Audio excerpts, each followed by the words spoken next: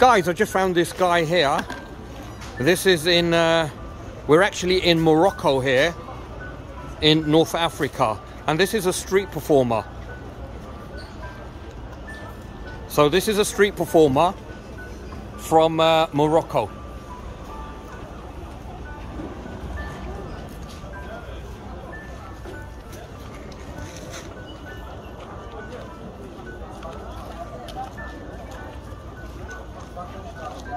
So you do get street performers all over the world, but this is from uh, Morocco.